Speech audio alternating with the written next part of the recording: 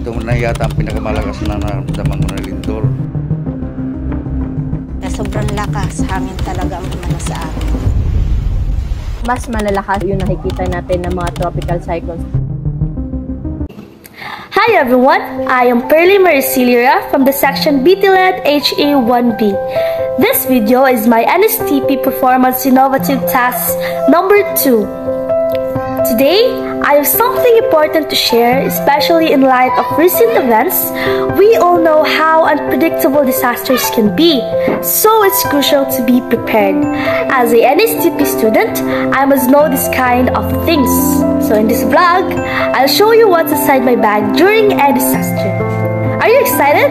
Let's dive right in! But first, let me show you a short montage on what my bag looks like.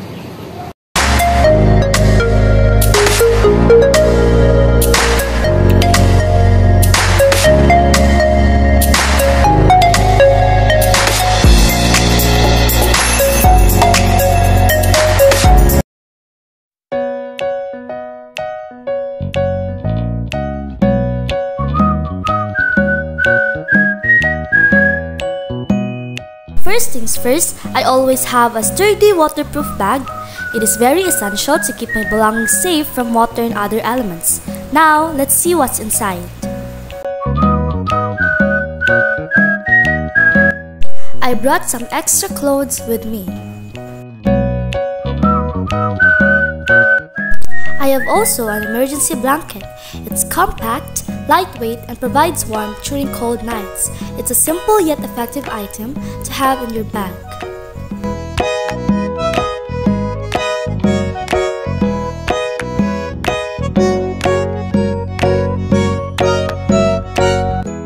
A reliable flashlight with spare batteries is a must. It's essential for navigating in the dark, especially if power goes out during a disaster.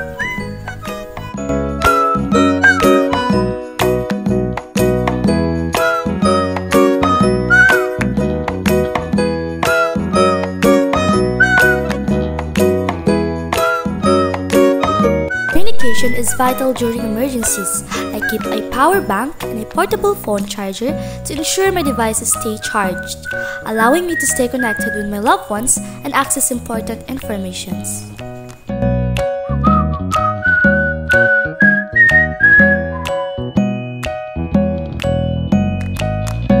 I also bring with me my important files like my birth certificates and many more. It is very essential to bring it because we can use it in many things.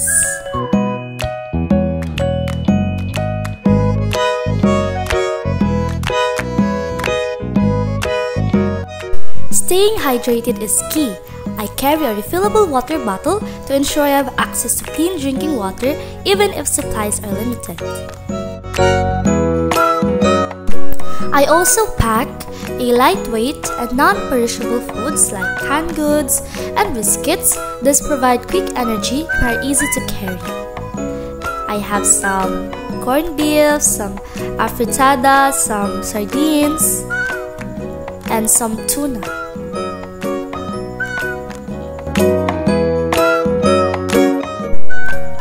I also have some biscuits, cup noodles,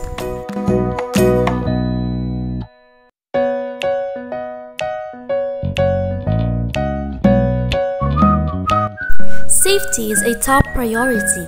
I have a compact first aid kit containing band-aids, wipes, pain relievers, and any essential medications I or my family members might need.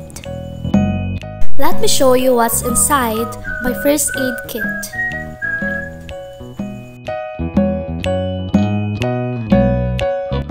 I have some medicines like Malogesic for fever. I also have some um, loperamide, and pain relievers. I also have some band-aids to treat wounds. I also have some cotton,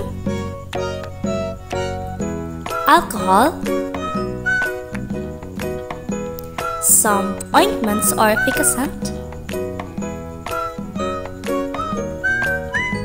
some gauze pad,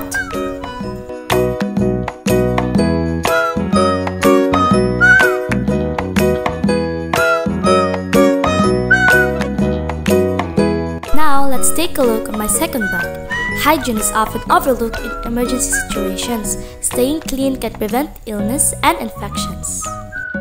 Let me show you what's inside my hygiene kit. First, I have my wallet with my IDs inside and also money. Don't forget your money.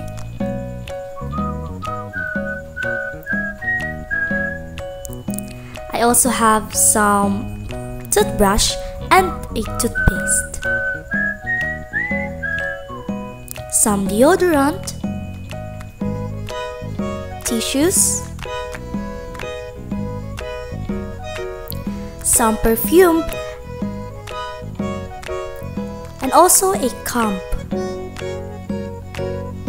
I also have some sanitary napkins, especially for a girl like me, it is very essential. Body soap,